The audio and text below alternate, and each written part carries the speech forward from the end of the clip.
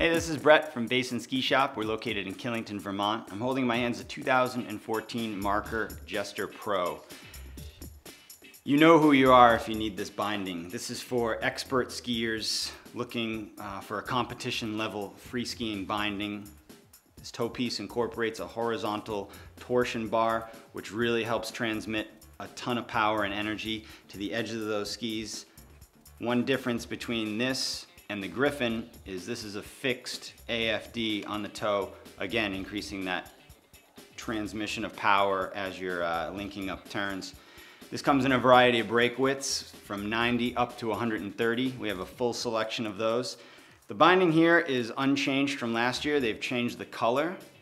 Uh, other than that, everything is the same from last year. Any questions on the Jester Pro or any binding from marker, feel free, give us a call or check us out at basinski.com.